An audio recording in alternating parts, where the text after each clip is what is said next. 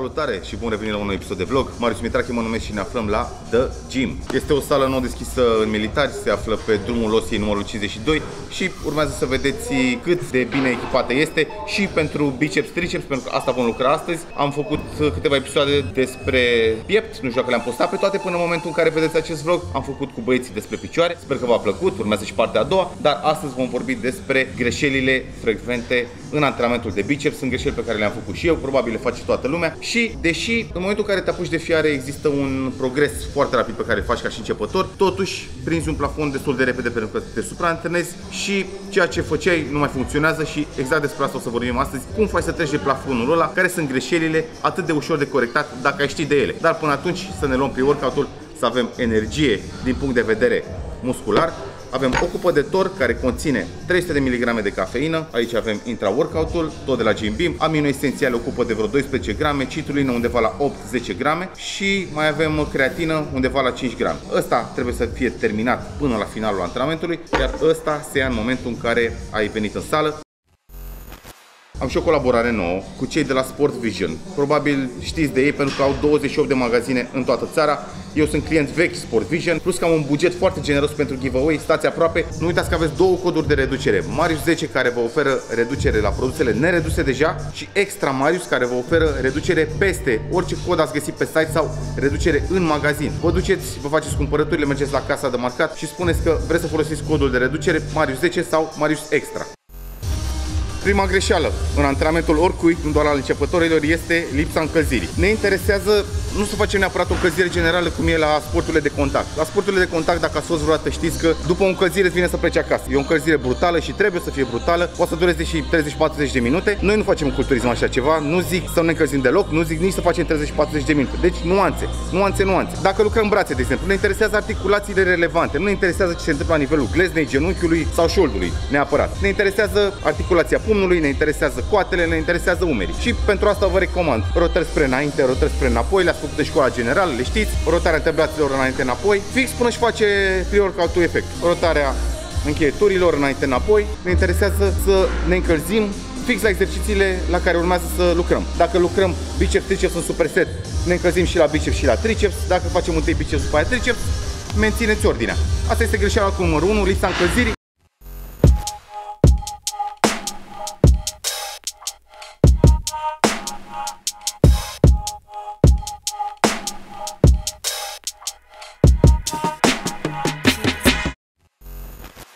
Greșeala cu numărul 2 și una extrem de importantă. Oameni buni, există trei faze ale mișcării. Partea pozitivă, respectiv contracția concentrică, contracția de vârf și partea negativă, partea de coborâre, contracția excentrică a mișcării. În momentul în care ești începător, chestiile astea sunt lucruri străine. Ai doar partea concentrică, nu ai contracție, nu ai negativ. Hai să vedem cum ar trebui să arate de fapt o mișcare. Asta este partea pozitivă, concentrică, care ar trebui să fie corectă, dar explozivă. Aici avem contracția de vârf unde trebuie să o punctăm. Nu trebuie să ții aici 5 secunde, 10 secunde, o secundă. Când ai ajuns aici, contracți pe care avem revenire lentă. Revenirea asta este partea negativă a mișcării și nu negativă ca o conotație negativă a mișcării, ci contracția excentrică, care este cel puțin la fel de importantă ca și contracția concentrică, partea pozitivă. Pe partea negativă a mișcării de coborâre, sunteți mai puternici mai puternici între 30 și 50%.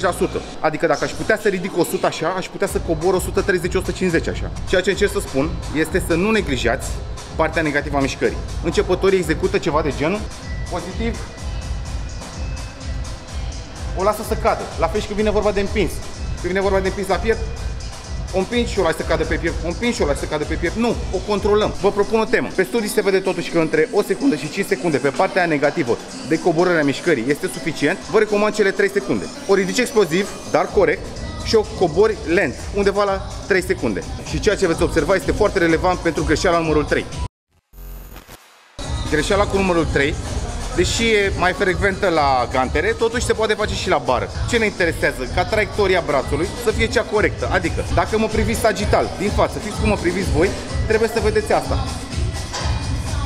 Ca antebrațul flexează pe braț pe direcția inserțiilor fibrelor. Adică, dacă fibrele sunt inserate așa, ne interesează să scurtăm de-a lungul fibrelor. N-ai ce să cauți cu cotul exterior, nu flexezi așa, nu flexezi așa, în situația asta, o arunci din picioare, pleacă din gambe, din coapse și o arunci din spate. Multe arată așa. Sau așa, aici.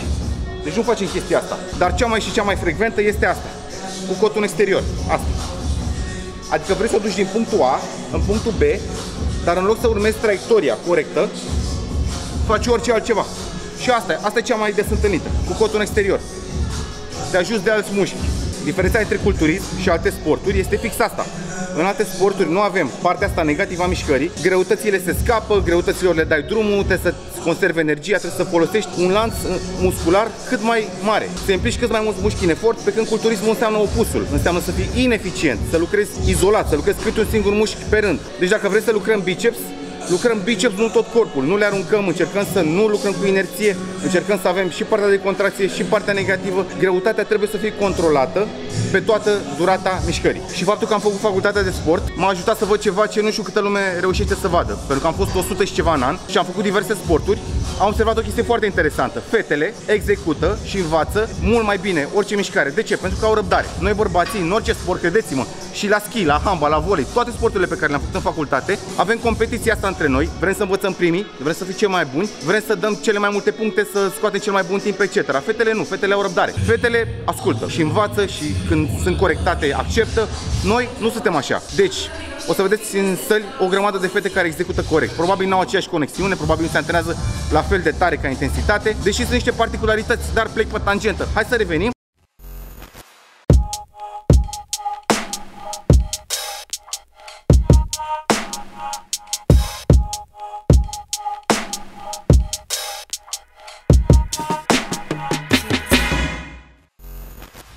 Greșeala cu numărul 4. Nu lucrați cu greutatea corect. Când vorbim de grupe mai mici, de biceps, de triceps, de umărul lateral, de gambe, avem nevoie de niște greutăți pe care le putem controla. Nu are sens să faci serii de 5 repetări la biceps. Riscul de accidentare este mai mare. La fel și la triceps, la fel și la umeri și la grupele mici în general. Deci, vă recomand să faceți niște serii super controlate și corecte, dar cu greutăți mai mici care vă permit o zonă de, să zicem, peste 10 repetări. Poți să lucrezi în zona de 5-6, dar bineînțeles, poți să faci chestia asta în siguranță și corect ca începător, mai greu. Așa că până îți deprindeți skill-ul ăsta de conexiune minte-muși, unde nu mai implicați în efort și alte grupe musculare ce nu ar trebui implicate în efortul respectiv, vă recomand să stați într-o zonă de repetări mai multe și să puneți accent mai mult pe formă, pe contracție, pe negativ și mai puțin pe greutate. Greutățile vor veni. Greutățile nu sunt o decizie, sunt o consecință a antrenamentului.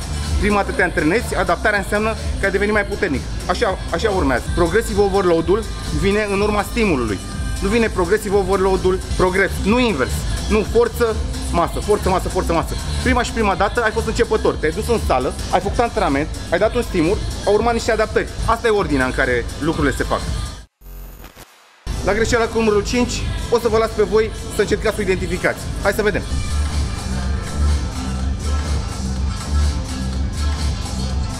Exercițiul cu numărul 2.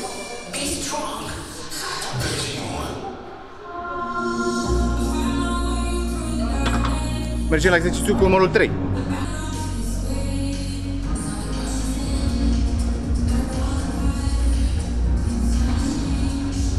Ce au în comun toate cele trei mișcări? Păi sunt aproape identici. Faptul că am lucrat la bară EZ, primul exercițiu, și cu bară dreaptă la al doilea, și flexii cu gantere alternativ la al treilea, e practic aceeași mișcare, e aceeași mărie cu altă pălărie. Ne interesează niște diversitate. Ce înseamnă diversitatea asta? Înseamnă că nu are sens să faci același exercițiu în 3-4 contexte diferite, e ca și cum ai făcut același exercițiu.